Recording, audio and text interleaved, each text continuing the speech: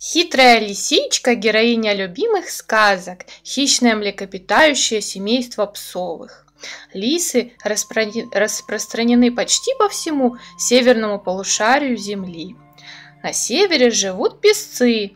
Они белые, называются белыми полярными лисами. А вот в Африке можно встретить феника, миниатюрную лисичку с очень большими ушками, которые защищают от солнечного удара. А вот в нашем регионе распространена обыкновенная лисица. Э, к еде лисы неприхотливы, в основном едят мышек. Также охотятся на более крупных млекопитающих, например, зайцев, охотятся на птиц, также могут похищать домашних птиц, но это происходит не так уж часто. Летом поедают много жуков, червяков и других насекомых. Также они едят плоды, фрукты, ягоды. Лиса очень красивая, с пышным хвостом, узкой мордой и хитрыми глазками. Сейчас мы такую нарисуем. Вначале простым карандашом мы намечаем большой овал с небольшим таким выступом. Овал мы делаем, делим на три равные части. Верхняя часть это мордочка, нижняя передние лапки. Намечаем ушки, носик, глаза немножко вытянутыми такими рыбками со стрелочками хитрыми. Дальше мы намечаем белую манишку на грудке и лапки. Обратите внимание, что лапки к низу сходятся друг к дружке. Хвостик свернут бубликом. Задняя лапочка. Стерли линии лишние построения, еще одна задняя лапочка. Уточнили рисунок. Сделали зрачки, наметили линию снега.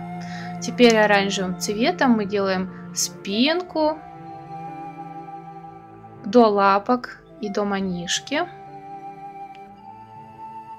Животик у нее тоже будет беленький. Также вот такую маску делаем рыженькую на мордочке. Нижняя часть мордочки будет тоже беленькая. Затем делаем серый цвет. Внутреннюю часть ушек делаем. Шерстяную такую. Старайтесь мазочки класть, как вот растет шерсть. Мазочками такими вот в сторону роста шерсти. Затем более светлым оранжевым делаем вот так обводочку такую. И можно еще сделать по мокрому белым обводочку. Она не будет прямо белая. Вот э, грудку тоже чуть-чуть вот сделали вокруг обводочку. Коричневатым, таким сероватым цветом возле глазок. Э, грудку сероватым цветом тоже прорисовали шерсть, тень такую от головочки, черные лапки передние, задние тоже черненькие, хвостик рыженький, затем берем немного желтого цвета, немного белого, такая у нас растяжка получилась от рыжего к желтому и к белому. Красно-оранжевым цветом, вот я смешала и сделала более темные места. По бокам носика, полосочку на головочке.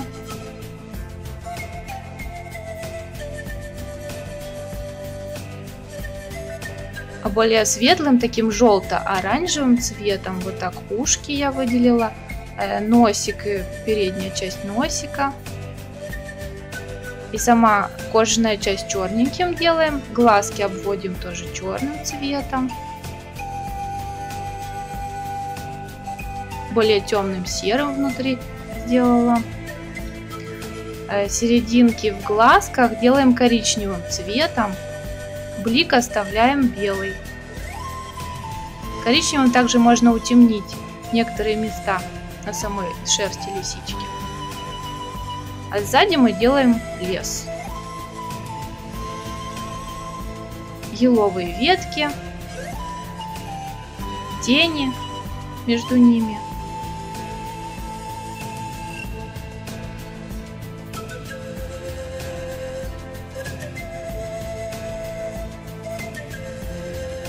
А внизу делаем голубоватым цветом снежок. Но мы не закрашиваем полностью, вот как будто бы там тени какие-то, неровности на снегу. На ветках тоже можно добавить снег, синеватые оттенки. Можно набрызгать еще вот так белой краской, как будто бы идет снег.